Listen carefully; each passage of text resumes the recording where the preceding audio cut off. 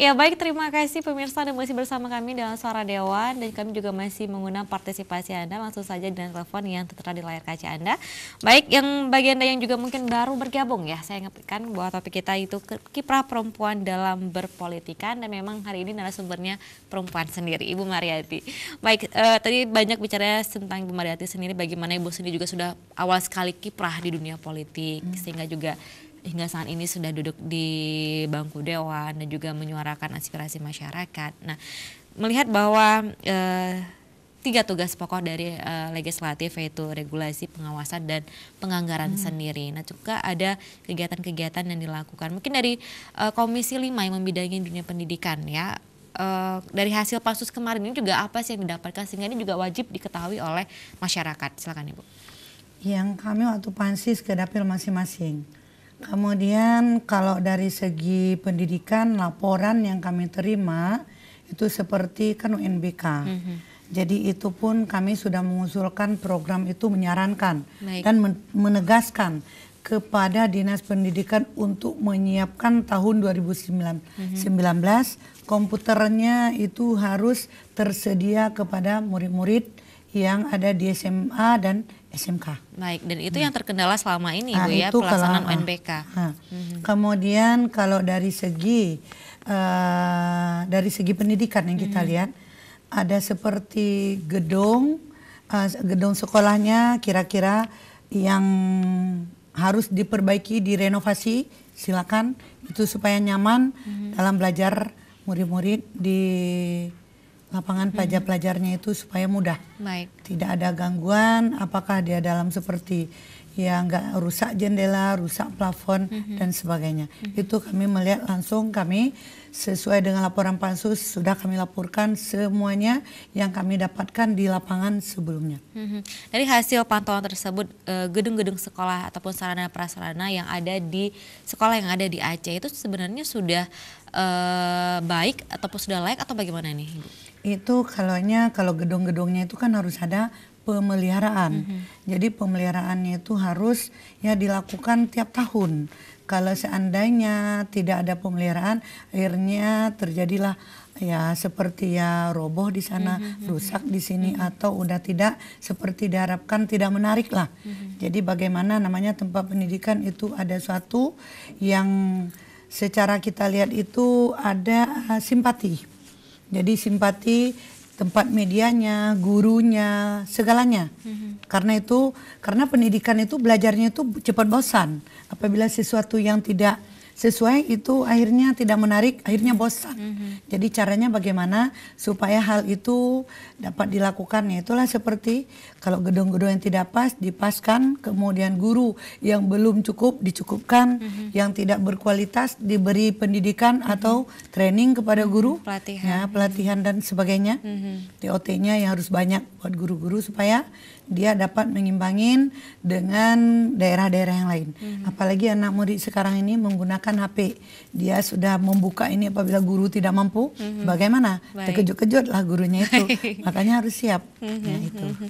Nah, ini juga kabar gembira juga bagi guru-guru ini ataupun calon-calon guru yang nantinya uh, yang Aceh juga memiliki kuota yang banyak untuk iya. pengangkatan CPNS guru hmm. juga ini. Mungkin hmm. juga ini uh, semangat juga ini Bu ya untuk memajukan uh, lagi-lagi kualitas pendidikan di Aceh hmm. dengan dengan diangkatnya uh, beberapa apa ya banyak juga eh, guru-guru uh, di tingkat uh, mulai sekolah dasar uh, SMP, SMP SMA, dan juga SMK SMK. ya dan SMK juga ini juga hmm. uh, mungkin anggota dewan seperti ini seperti apa ini? Buat artinya juga kuota guru kembali diminta nih untuk CPNS ini, Bu. Kalau memang harus dimintakan ada yang udah pensiun, mm -hmm. kemudian ada yang kebutuhan muridnya uh, makin hari makin tahun makin ada peningkatan Baik. dalam periode-periodenya jadi kan gurunya juga harus jadi sesuai dengan jumlah murid dan jumlah guru. Hmm. Cuman kami sangat menekankan kepada Dinas Pendidikan Aceh, Baik. terutama jangan di sekitar kota-kota, bukan di kota provinsi, kota pemerintah Aceh. Hmm. Uh, misalnya kota Madia di kabupaten yang lain, cuma hanya di sekitar kota, kabupaten itu yang lengkap guru. Mm -hmm. Tapi coba lihat di bagian uh, bagian yang pendalaman, dilihat gurunya cukup nggak, berapa muridnya, dan guru-guru yang itu seperti guru bahasa Inggris, guru matematik, guru fisika, guru kimia cukup nggak, ada nggak? Jangan penuh di kota, karena penuh di kota kadang ada pengaruh, ada pengaruh omnya, pengaruh paceknya pindah kemari semuanya. Baik. Di sana tersis, tidak ada siapa-siapa. Mhm, Mudah-mudahan eh, penerimaan tahun ini tidak demikian ya. Ah. Harus bersedia di Karena kenapa? Di awalnya itu sudah disumpahkan di mana di tempat ditempatkan. Siap. Tapi begitu udah duduk setahun dua tahun, udah mencari dia siapa-siapa yang dekat yang dapat menarik dia ke daerah yang di kotanya, di daerah terpencil udah tinggal sekolah dengan anak murid. Oke, artinya di sini distribusi guru juga belum merata. Distribusi guru itu pada untuk guru di daerah terpencil ada diberi itu hak yang lebih misalnya dikasih kereta, dikasih tunjangannya lebih lagi. Baik. Tapi kalau tidak ada yang dikontrolnya lagi dari pihak PK kabupaten kotanya itu tidak seperti diharapkan. Anggaran besar pengeluaran hasilnya tidak seperti diharapkan. Mhm, Baik, Nah, di sini eh, Dewan sendiri melihat hal ini seperti apa? Adakah kontrol yang kuat untuk mereka yang mungkin yang mengajar di daerah-daerah yang jauh daerah-daerah terpencil? Kalau kami eh, turun ke daerah kan kadang tidak langsung. Begitu kami langsung turun, ini ke mana, ini kenapa cepat pulang? Belum jam 12 kau pada bubar, anak muridnya ini jam berapa yang harus pulang? Eh, ini begini, ini alasannya guru sakit, kok tiap hari sakit? Baik. Kok anak macet Dan itu ditemukan di lapangan, Ibu? Tem kita ketemukan apabila kita ke dalam yang kita perginya itu ke bagian itu yang pendalaman guru-guru yang terpencil terpencil makin ada kereta diberi makin dia luar biasa itu perjalanannya lebih Baik, jauh lagi Baik. Mhm, Seperti dan, itu. Oke, dan ini juga masih menjadi permasalahan eh, pendidikan di Aceh. Kita harapkan ke depannya tidak seperti seperti itu. Artinya juga dinas-dinas juga bisa mengambil kebijakan ini, betul juga terkait dengan terutama dinas pendidikan dan kebudayaan Aceh ini sendiri. Ini Ya. kalau coba ini saya terkait dengan dinas pendidikan. Pegawai dinas pendidikan di Aceh ini lebih dari 500. Mhm. Apa yang mereka kerja? Sebenarnya mereka itu ada tugas pengawasan ke kabupaten kota. Oke. Langsung Artinya mereka dia harus terjun. turun. Hmm. Mhm. Jangan tiap tahun ini anggaran pendidikan tinggi tapi pendidikannya tidak ada yang tinggi kualitas. Mhm. Itu yang kita harapkan itu kepada kadisnya itu selalu kami menekankan dinas tingkat satu, Baik. kemudian mereka dapat mengontrol ke tingkat dua. Mhm. Gitu. Baik, oke.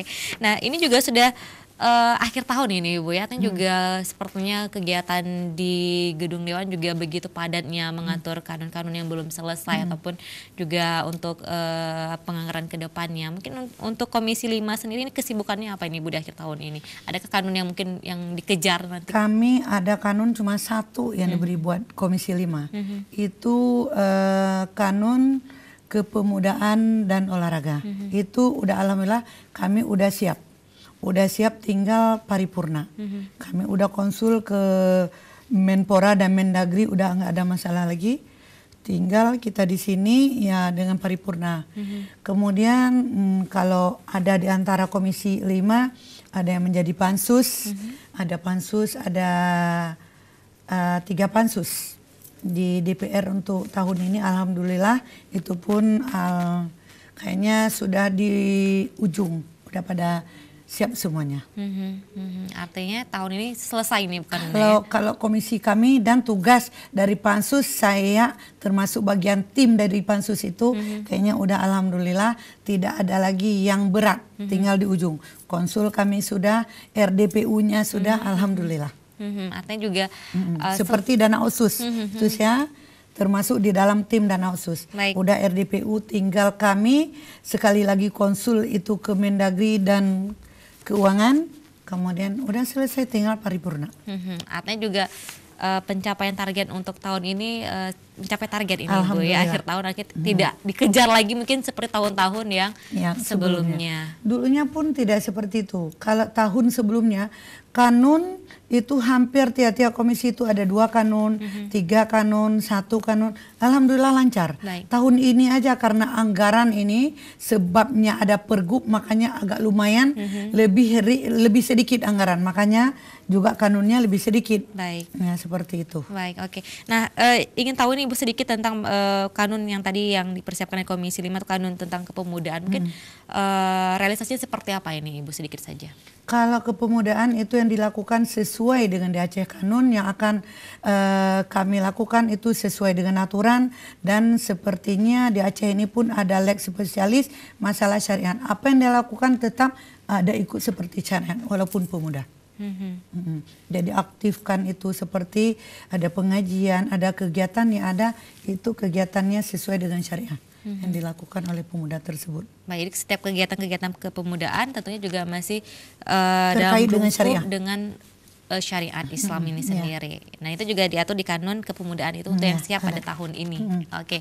Dan ini juga uh, menarik sekali melihat tadi sudah banyak yang kita bincangkan ini Ibu ya juga melihat kiprah uh, Ibu Mariati sebagai perempuan di dunia politik, kemudian yeah. juga Ibu sendiri yang menjadi wakil ketua dari Komisi 5 DPRA. Mm. Nah mungkin mm ke depannya ini harapan besar sekali untuk rakyat Aceh ataupun ada tidak tugas-tugas ataupun PR besar yang masih belum tuntas dari Ibu Martin sendiri sehingga juga harus uh, seperti juga harus melanjutkan ini Ibu. Oh, begitu. Terima kasih. Kalau memang kita hidup ini tidak pernah habis tugas mm-hmm. dan tanggung jawab. Baik. Atas nama kita masih hidup, apalagi kita duduk di dalam suatu lembaga ini. Itu alhamdulillah semuanya itu harus kita lakukan sesuai dengan tupoksi kita. Mm-hmm jadi tidak ada cerita. Jadi uh, yang dilakukan uh, per hari, per tahun dan per periodenya itu itu selalu ada mm-hmm. dan tanggung jawab. Baik. Jadi masyarakat udah tahu apa yang kita lakukan dan kepentingan yang kita lakukan uang rakyat demi rakyat yang kita lakukan. Mm-hmm.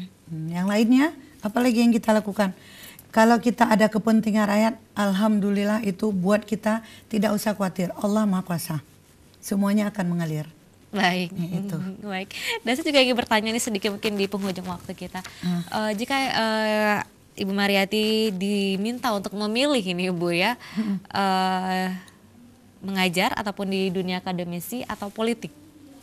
Di oh saya dua-dua karena di dalam dunia akademisi juga mengajak itu mahasiswanya itu berpikir itu secara positif, mm -hmm. tapi harus giat. Mm -hmm. Tanpa giat itu ujungnya itu malas, malas itu ujungnya bodoh. Mm -hmm. Itu. Jadi akhirnya bagaimana berkiprah? Berkiprah pilih. Kalau berkiprahnya itu ke bidang politik boleh. Itu harus pendidikannya pun ada dari segi politiknya pun sedikit. Mm -hmm. Jadi tidak ada duduk di situ tapi tidak memahami. Kemudian dari segi ekonomi juga seperti itu dari segi pendidikan jadi kita ini walaupun bagaimana harus kita menguasai ilmu. Tidak ada ilmu apa yang harus kita sampaikan. Mm-hmm. Mengajar. Mengajar bidang apa? Oh bidang uh, ekonomi pasti itu ekonomi.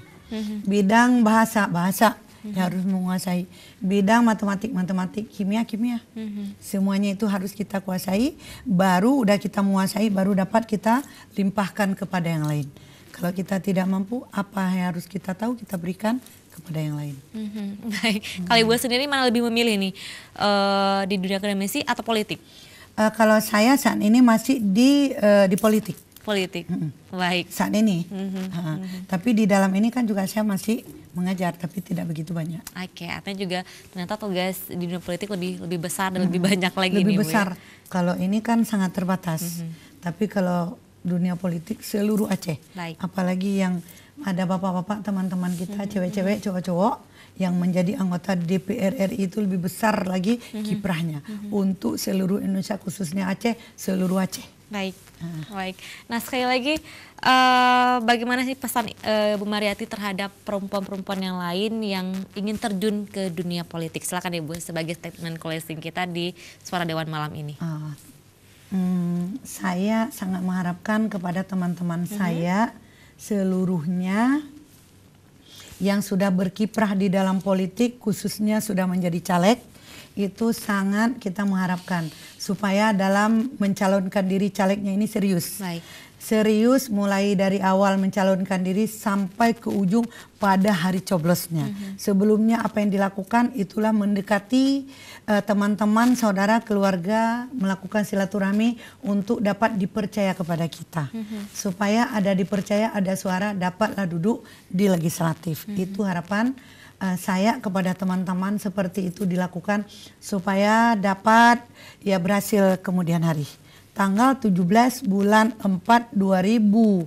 uh, dapat berkiprah dan dapat berhasil dengan kerja yang serius. Semoga Allah meridai untuk perempuan lebih dari 30% di lembaga legislatif DPRK dan DPRA. Baik, terima kasih. Dan mudah-mudahan uh, di DPRA ini sudah ada 12 orang perempuan ini Bu ya. Ada 12 orang. tahun depan di pemilihan 2019 lebih dari 12 orang. Lebih banyak kursi yang diraih oleh perempuan ini, Bu Semoga ya. Semoga seperti itu. Mm -hmm. Itulah caranya kerja yang serius. Baik. Bukan mengharap. Hmm. Kalau mengharap, mengharap kepada laki-laki, laki-laki pun ya harus menang. Hmm. Jadi tidak ada memberi hak. Kalau berpolitiknya itu tidak ada akemak kalau bahasa Aceh, masing-masing nafsi-nafsi. Hmm. Itu untukmu, untukmu, untuk saya, untuk saya. Jadi up to you, Hana, Hana untuk tinggal saja. Masing-masing lah. Hmm. Jadi kerja serius untuk kita sendiri. Tidak perlu kita menjelekkan teman-teman, tidak perlu kita menganggap orang lain itu remeh dan sebagainya. Mm -hmm. Kita kepada teman tetap teman, Baik. tidak perlu ada lawan buat kita semuanya. Itu namanya berpolitik yang sehat. Baik. Itu buat perempuan. Baik. Ya terima kasih Bu Mariati atas kesempatan malam hari ini di Suara Dewan. Mudah-mudahan juga menginspirasi juga banyak perempuan lainnya di luar sana untuk terjun ke dunia politik dan juga tentunya mereka yang memiliki kapasitas dan juga kemampuan. Baik demikian mudah-mudahan bermanfaat untuk kita semua. Akhir kata saya mohon pamit. Wassalamualaikum warahmatullahi wabarakatuh. Waalaikumsalam.